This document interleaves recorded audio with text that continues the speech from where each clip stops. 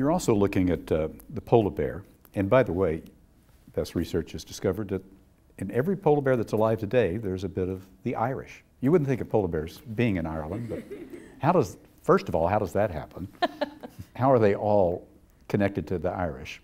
Well, uh, did you see in the news recently, in the last couple of years, that there are polar bear, brown bear hybrids that people have found, hunters have found in it's happening Canada. now as the climate is changing. Yeah, and so that's happening because polar bears and brown bears are actually not that different from each other. They only diverged from a common ancestor probably around mm, 500,000 years ago or maybe less than that. So they're still very closely related to each other and they can breed and produce hybrid, fertile hybrid offspring.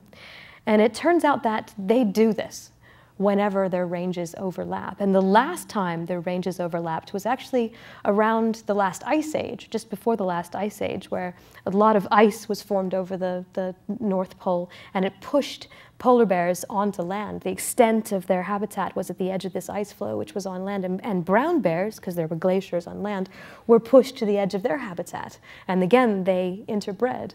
And, and Ireland happened to be the meeting point. And it happened to have happened in Ireland indeed.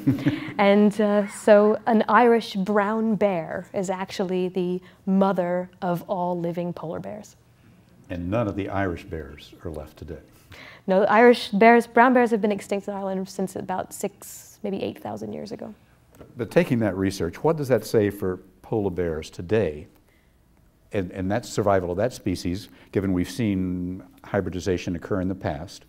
Uh, it didn't work out so well for the woolly mammoth because the humans were there, but we've, we've been here now and the polar bears have sort of survived us. Yeah, polar bears are, are threatened because they require sea ice to be able to survive. And Will they survive with hybrid, can they hybridize again and then go back and become polar bears yeah, again? You know, this, it's a good question and it's one that people have asked, but I think that if the only way that the polar bear can survive is by hybridizing with a brown bear, and those hybrids then mate with brown bears, you're going to get only brown bears, and the, the, polar bear will go extinct. The only way that it can survive is if those hybrids manage to find other populations of polar bears to then breed with, or places to live where they can be polar bears.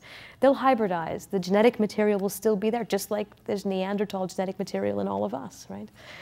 But they won't be polar bears.